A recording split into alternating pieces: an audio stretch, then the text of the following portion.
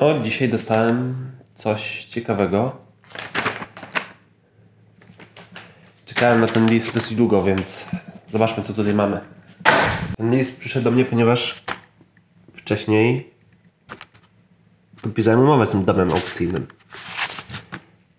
na sprzedaż tego obrazu. Dobra.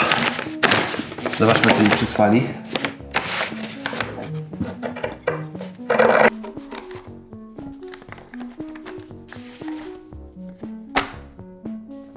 Zobaczmy co jest w katalogu. O, goła baba. Wykaz artystów. Alfabetycznie, więc Beksiński ma tutaj trochę fory, bo jest na literę B względem litery S. No, bla bla bla. Okej. Beksiński. Ilustracje.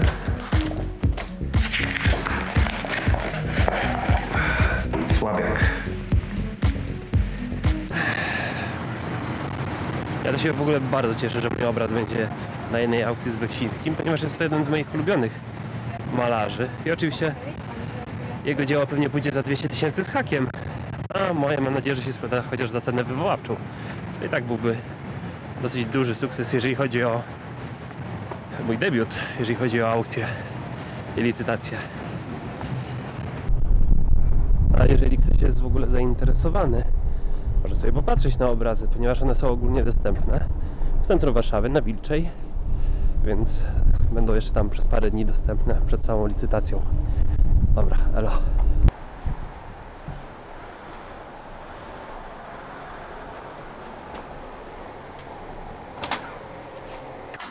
Można pochodzić i porobić zdjęcia y, przed, przed y, licytacją?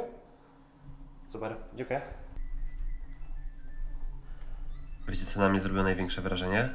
W jaki sposób te obrazy są oświetlone. Czarna sala, ale jednak ten obraz, który ma być podświetlony, to jest podświetlony. I widać, że tutaj wykonali super pracę właśnie z jakimś, nie wiem, architektem wnętrz lub z kimś, kto się zna na oświetleniu, żeby to po prostu super oświetlić. Ale nazwisko Słabiak i Beksiński to nie są jedyne nazwiska, jakie możecie znać. Jest jeszcze taki jeden ziomek jak Tytus Brzozowski, który jest dosyć dobrym artystą. Dosyć zrobił dobrą karierę.